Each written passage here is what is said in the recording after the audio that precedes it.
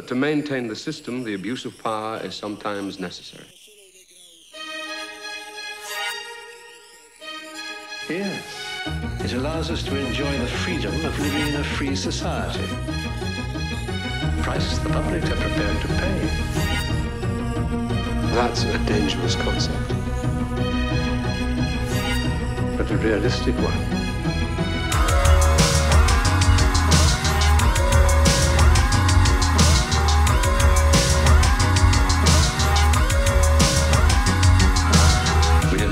Stories, truths, leak lies, leak half-truths. We were accountable to no one. The Prime Minister, Parliament, the courts, the great British public.